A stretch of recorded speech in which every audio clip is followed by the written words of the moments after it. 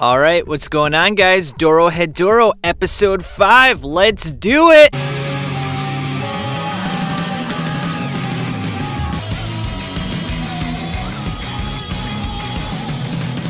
So Kaiman and Nikaido are ready to enter the magic user world. Of course, Kaiman has to wear a special costume. He can't let anyone know that he's from the hole. So he puts some bunny ears on. He looks like the Easter bunny. Uh, pretty comical stuff. And uh, when they get there, I gotta say, great artwork, guys. I mean, the animation here is really crisp. There's a lot of vibrancy. I love this. Uh, very nice portrayal of Q Hayashida's work. Then they decide they're in the magic user world. Hey, we gotta catch a ride to get around around a little faster. So they decide to take a magic carpet because obviously it's a whole new world. Uh. But anyway, when they're taking their magic carpet ride with the genie and Aladdin, we go over to Ebisu and Fujita. It looks like they're getting hassled by some guys who know Fujita. They're kind of like, hey, what happened to Matsumura? You're not hanging out with us anymore. You're with En's group now. We hate you, so we're gonna beat your ass. So Fujita tries to stop them because they're trying to pick on Ebisu, uh, but his magic is not really that strong. And if it's not for Noi and Shin showing up and for literally punching their hearts out, it, it might have been the end for Fujita and uh, Ebisu as we know it. So after the little scuffle, I mean, obviously, you know, after they kill some guys, you gotta go out for some ice cream. I mean, what else would you do in a situation like that? But when they're having the ice cream, Fujita mentions to Shin and Noi that he's tired of being so weak, he would like to enhance his magical abilities. So he's like, hey, can you guys train me? And, you know, they kind of just laugh it off. They don't really take him too seriously. A bit disappointing. You think they'd be a group, but eh, he's kind of a pussy anyway, so who cares? Then back over to Kaiman and Nikaido. They're still on the magic carpet ride, but they realize they don't have any money to pay the taxi driver. So, without any other choice, Kaiman decides to kill the motherfucker. Woo! Straight up murder, bitch! And not only does he steal his money, he steals the keys to the magic carpet. Now, I had to laugh here because I didn't know magic carpets had keys. I thought they were just using like sorcerer magic. So, you know, I guess if you don't got the keys, you can't turn on the magic carpet.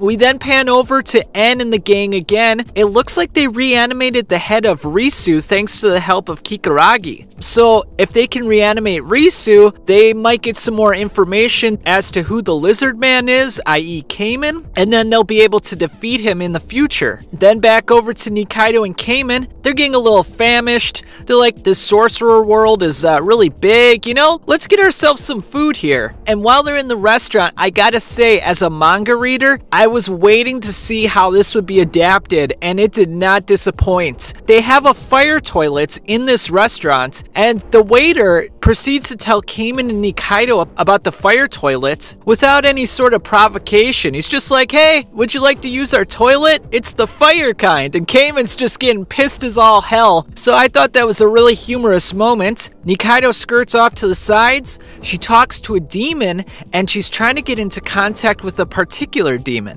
But more on that later. Kaiman decides to eat the food. He has an upset stomach. He goes to the toilet and he passes out. Now, at the same moment, Risu has a flashback, and uh, we see some images of Kaiman, and we see some images of when he was a head in the jar at the hospital. You know, Kaiman's head, and uh, sort of had the same visions, and he even wakes up from his daze and he says Risu. So this is very interesting. There seems to be some sort of mental connection between Risu and Kaiman. Now, are they the same person? We don't know at this point, but I guess we'll find that out more as we progress throughout the anime. Nikaido then alerts Kaiman to the fact that she saw a guy with cross eyes. They go locate him, they go into the building, but unfortunately, someone was there first. It was Shin and the gang, and they killed everyone except for one person. And that one person, Shin decided to use his sorcerer magic on. And as you might know from the previous episodes,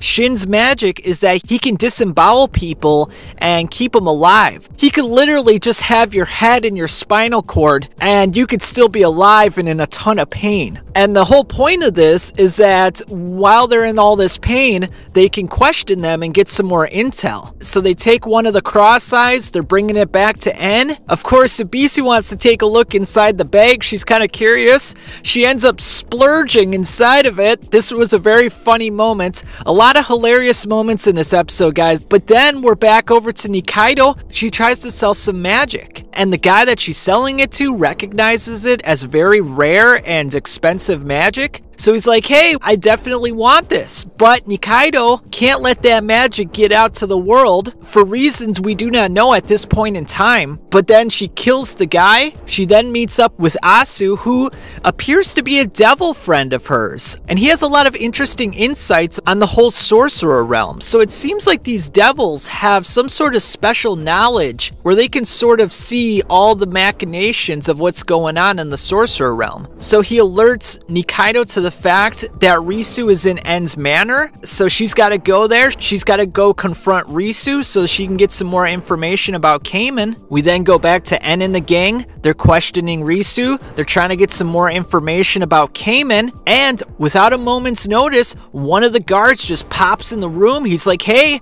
someone's in the mansion. They infiltrated your grounds, and they're just killing a bunch of security guards." Uh, so Noi's all happy. She's like, "Hey, this is my time to shine. I'm gonna beat up this intruder and I'm gonna prove myself to everyone once again. So she comes out and uh, wow, what a nicely choreographed fight this was between Nikaido and Noi. I really enjoyed this. Some interesting camera angles, a lot of interesting kicks and punches and moves. And now this is our second battle between Nikaido and Noi. Now, of course, Noi does not know who this is at this point in time because Nikaido is wearing a mask. But Nikaido knows who Noi is, and she's aware of the fact that on the Day of the Living Dead, that Noi was very powerful and was even able to knock her out. So she looks a little hesitant to continue with this battle. But then the episode ends right there, guys. So we're left on a cliffhanger. Is Nikaido gonna be okay? What's going on with Kaiman? He's just kind of uh,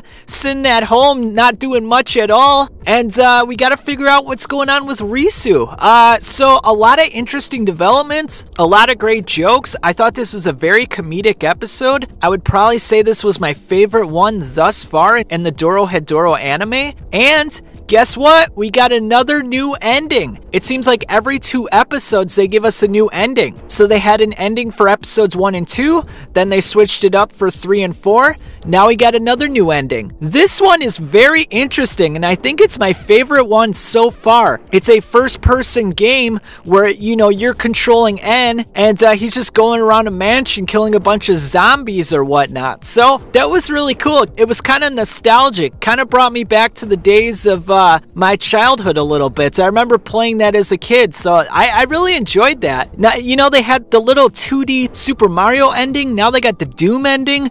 Who knows? Maybe they'll do a Donkey Kong ending at some point.